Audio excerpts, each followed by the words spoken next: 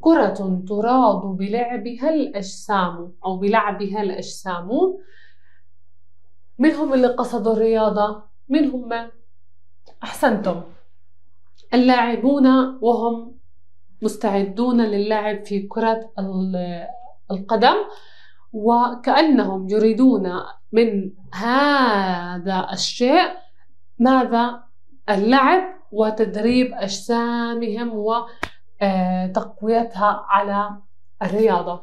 البيت الأول المعاني قصدوا أي اتجهوا ترادوا أي تدربوا. والشرح مثل ما قلنا الآن تجمع اللاعبون في هذا الملعب أو في ملعب كرة القدم وبينهم الكرة وكأنهم أو وكانوا يريدون من ذلك اللعب وتدريب آه، أجسامهم وتقويتها.